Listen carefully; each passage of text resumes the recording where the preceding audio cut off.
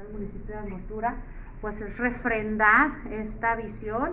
y estos objetivos que se están trazando desde el gobierno del estado. La verdad es que estamos bien contentos que Angostura haya sido pues el municipio número uno en levantar la mano y decir que ellos quieren recertificar su playa, la playa, la playa de Costa Azul, que son 500 eh, metros de playa lo que se están certificando. Ahora en el mes de julio ya se termina pues este proceso de recertificación y lo que venimos a hacer es dejar listo para que a partir de este mes de julio pues ya se siga con el nuevo proceso de recertificación y que la playa de Angostura de Costa Azul pues siga siendo una playa limpia, una playa verde, una playa certificada en todos los esquemas de calidad.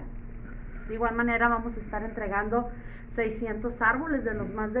3.800 que hemos entregado al ayuntamiento, que sabemos que ya están colocados pues en espacios públicos, en camellones, en escuelas. La verdad es que reconocer el trabajo que, que la presidenta Aglaé ha hecho fue